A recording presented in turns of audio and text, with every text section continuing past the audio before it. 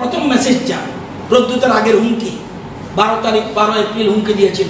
বলছে, আঠারো তারিখের পরে দেখে নেব। এবং আজকে আঠারো তারিখ। সে তার কথা রেখেছে। সে যে, আমি জানি না, আমি তাকে গুন্ডা বলতে যাব না, আমি তাকে বদমান বলতে যাব না। কিন্তু কাণ্ড, অর্থাৎ সে যে আইনটাকে নিজের হাতে তুলে নিচ্ছে এরা যদি আজকে ক্ষমতা পায়, তাহলে কোথায় গিয়ে যাবে? যদিও তাদের ক্ষমতা পাওয়ার কোনো বিন্দুমাত্র সুযোগ ভিডিও ক্যাসেট, ভিডিওটা আপনারা দেখবেন। তারপরে বাকি আমি আমার বক্তব্য you see is the president of Tripura Pradesh Congress Committee is anti tribal একটা পুলিশ কাস্টডিতে যদি যাকে মারতে পারে, পুলিশ কাস্টডিতে যাকে যাকে যাকে মারতে পারে, সে যে কোনো জায়গায়, যে কোনো মানুষকে খুন করতে পারে। পুলিশ কাস্টডিতে যে মারতে পারে সে যে কোনো জায়গায় যে কোনো মানুষকে খুন করতে পারে এবং সে তার কথা রেখেছে সে বলেছে eighteen April you see this is today eighteen April he has started his works সে বলেছে আঠারো এপ্রিলের পরে এখানে আজ আঠারো এপ্রিল আজকে থেকে তার অ্যাক্টিভিটি শুরু হয়েছে 18 तारीख को इलेक्शन खत्म है उसके बाद आपका खुद का एमएलए मंत्री आपको भूल जाएगा तब आप देखिए हम आपका क्या हशर करते हैं এবং থানাতে গিয়ে মেরেছে এবং এটা একটা বার্তা দিচ্ছে সারা রাজ্য পুলিশকে এই যে নির্বাচনের আগে আমরা কিন্তু এরকম করব তোমরা কি করবে ইউ টেক ডিসিশন আজকে এই একটা বার্তা দিয়ে রাজ্যের সমগ্র একদিকে একটা জনজাতি যুবককে so anti tribal he is একটা জনজাতি যুবককে থানায় গিয়ে তাকে মারধর করা এবং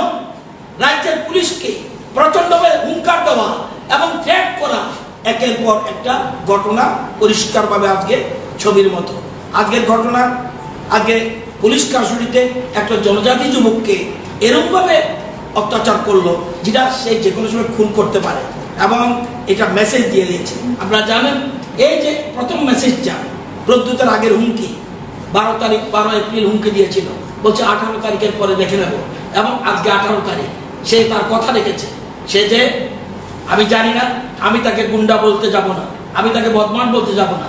কিন্তু রাজনৈতিক ভাবে যেরকম ষড়যন্ত্র করছে, এ রাজ্যের গণতন্ত্র প্রিয় মানুষকে অপমান করছে এবং পরিকল্পিতভাবে রাজ্যের সমস্ত রকম কর্মচারী, সাধারণ মানুষ তাদেরকে, তাদের ভোটাধিকার প্রয়োগ করেছে, তাদের গণতান্ত্রিক পদ্ধতির উপর যেরকমভাবে আক্রমণ, প্রশাসনের উপরে যেরকম আক্রমণ, এটা নিন্দা, ভাষা এবং এবং এই যে পরিকল্পিত, এটা আমরা প্রচণ্ডভাবে রাজ্যবাসীর পক্ষ থেকে আমরা ধিক্কার জানাই। আমাদের দলের থেকে তো আমরা নিন্দা জানাবই।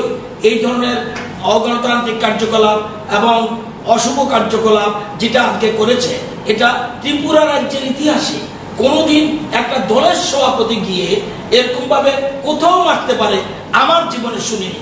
আমরা বিধানসভায় বিভিন্ন ধরনের কথা বলি, কিন্তু এরকম এরকম কাণ্ড।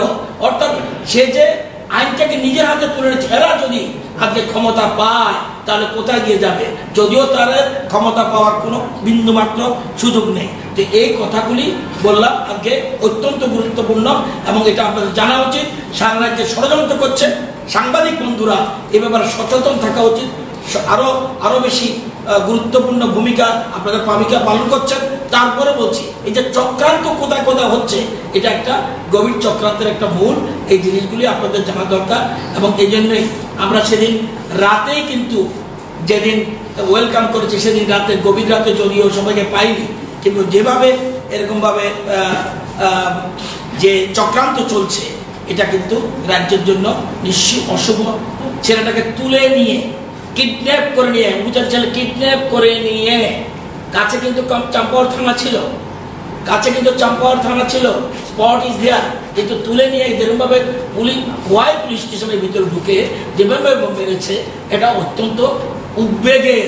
আমি তো ভাবতেই পারি না, একটা যিনি জীবনে কোনোদিন জনপ্রতিনিধি হতে পারেনি, উনি কীভাবে এরকমভাবে একটা অমানসিক অমানবিক কাজ করল এবং অ্যান্টি ট্রাইবাল কাজ করল, এটা আমি বুঝলাম ঠিক ঠিক দেখুন, এগারো এপ্রিল এগারো এপ্রিল সেরকম ভাবে ডাক্তারকে এটাও কিন্তু ডাক্তারকে তুলে নিয়ে গিয়ে যেভাবে বেধড়ক মারলো বেধড়ক মারলো, সেরকম কিন্তু এ- এরকম ভাবে তুলে নিয়ে গিয়ে ড্রেনে মারলো সব কিছু মারলো এবং তাকে হত্যা চক্রান্ত করেছিল এবং ড্রেনে পড়েছিল। ওরা ভেবেছে মেরে ফেলেছে মেরে মরে গেছে। এটা একই সমস্ত শুরু থেকে, একদম নির্বাচনের শুরু থেকে একটা গভীর চক্রান্ত। বিজেপি প্রমতা বিজেপি প্রমতা লিভ লং লিভ